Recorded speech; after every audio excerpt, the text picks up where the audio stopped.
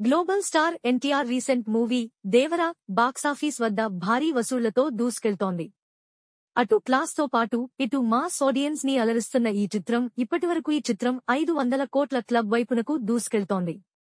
అయితే దేవరకు సీక్వెల్ ఉందని డైరెక్టర్ కొరటాల శివ గతంలోనే ప్రకటించారు.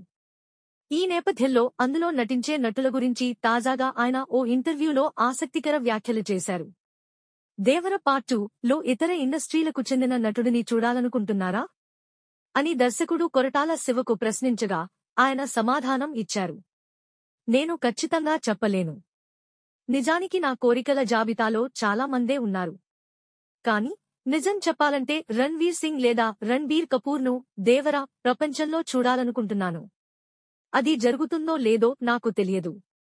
ఇది స్పాయిలర్ అవుతుందా లేదా అనేది నాకు తెలియదు. కానీ దీనిపై ఇప్పుడే ఎక్కువగా చెప్పలేను అని కొరటాల శివ వ్యాఖ్యానించారు. ప్రస్తుతం డైరెక్టర్ కొరటాల శివ కామెంట్స్ నెట్టింట్లో వైరల్ అవుతున్నాయి. ఇవి విన్న ఎన్టీఆర్ ఫ్యాన్స్ దేవర రెండు నెక్స్ట్ లెవెల్లో ఉంటుందని భావిస్తున్నారు. అలాగే దేవర సీక్వెల్ ఊహించని విధంగా అంతకు మించి అనేలా ప్లాన్ చేస్తున్నట్లుగా తెలుస్తోంది.